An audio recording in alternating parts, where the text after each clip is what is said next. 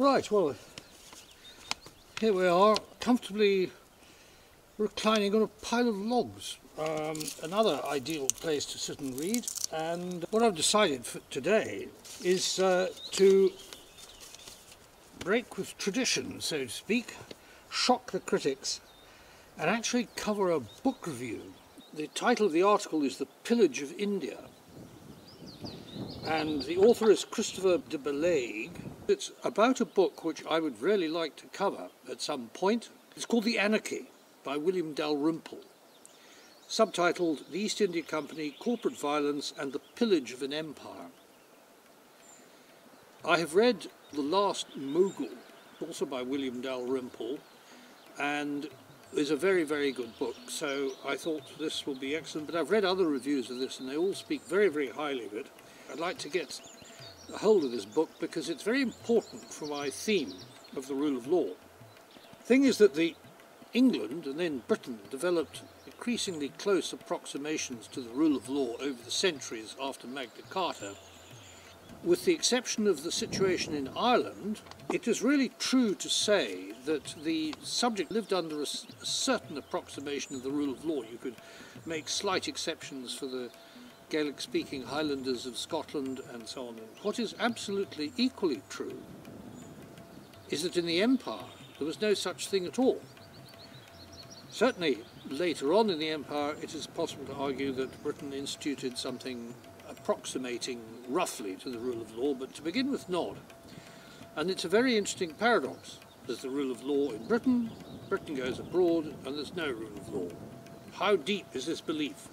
Or could it be the case, which is quite likely, that it was a, a system that was forced on the British authorities by the British people, and when they went to places where the local people couldn't enforce something like that on them, they didn't establish it. I like William Dalrymple's approach to history. He really gets into the subject and, as it were, lives it. But I came across the following sentence. This sentence that made me decide I'll quickly talk about this book. It says Dalrymple's ability to present events from an Indian as well as a European perspective owes much to his mining of the National Archives in Delhi and his collaboration with the late Bruce Wannell, a waspish global flaneur and gifted linguist who lived in a tent on Dalrymple's lawn in South Delhi while translating Mughal-era texts for him. I thought that's the kind of book I like to read. This isn't somebody sitting in a university trying to decide what to do next in order to get tenure or whether to um, flesh out their CV with a study. This is real history. This is somebody who means it. A subsidiary uh, theme of interest in this review, can't tell you about the book because I haven't seen it yet, is Clive, Clive of India, Robert Clive. And he says here, the reviewer says here, Christopher Bellaigue says, the company was transformed into an instrument of imperialism under Robert Clive, a terse, pugnacious delinquent from Shropshire. Rather like that too.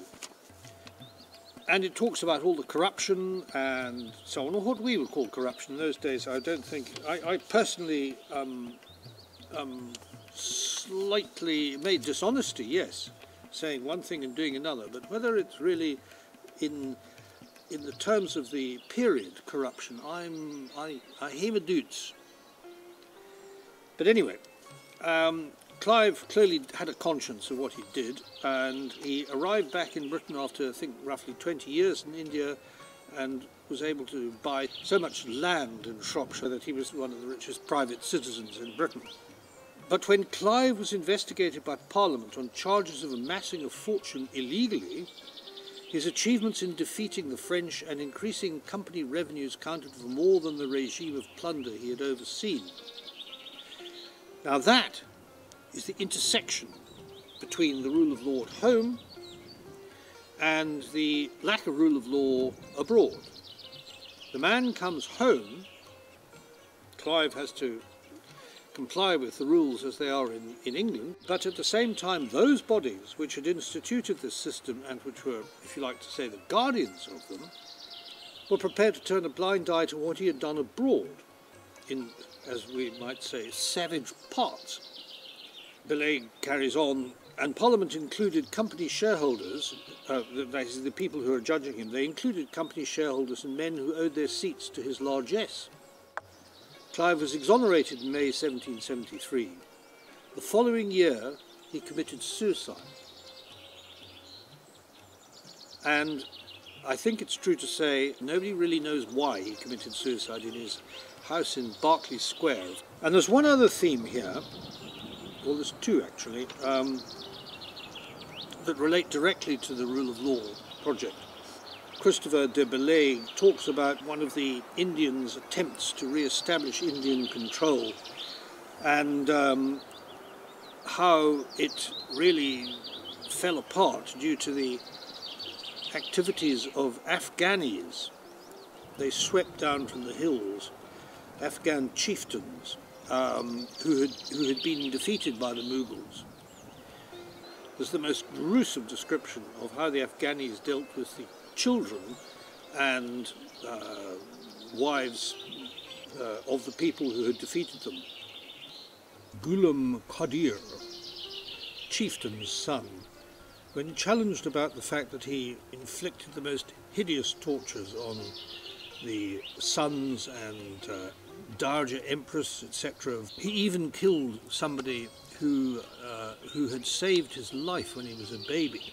He gave this extremely interesting answer when asked why.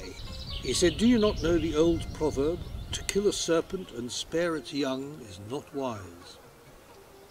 This is a very, very in interesting illustration of the principle of collective punishment that Stalin, of course, resorted to, as we well know. And the final page of this review is also very interesting because um, Christopher de Bellaigue is reviewing also a book called Inglorious Empire, What the British Did to India by Shashi Tharoor, published in Melbourne Mr. Tharoor, an Indian diplomat, senior official of the United Nations. He came second in the race to become General Secretary to the uh, Ban Ki-moon. Then went back to India where he has taken up calls of uh, trying to lobby for Britain to apologise for the empire. Now that's a different subject which I'm not going to get into. But de Bellaigue would, would like us to believe that Tharoor's assessment of British conduct is too uniformly negative to do justice to a multifaceted engagement lasting well over three centuries. And this is the rule of law point. And he says here, in the 1750s, roughly 200,000 Indians who flocked to live in British Calcutta, just a thousand or so of whose residents were European, were drawn not only by the city's wealth, but also the prospect of security from the Marathas, a recent Maratha invasion of Bengal had caused as many as 400,000 civilian deaths. An affluent and literate class of Bengalis, the Bhadralok, prospered alongside the companies, that's the East India Company's employees, while in the boom of the 1780s, labourers' wages rose 50%. In the late 19th and early 20th centuries, Bombay's impressive public works and thriving Parsi and Jewish minorities attested to intense pockets of dynamic wealth creation and multiculturalism. Nor was the empire's record of indigenization always as bad as Tharoor maintains.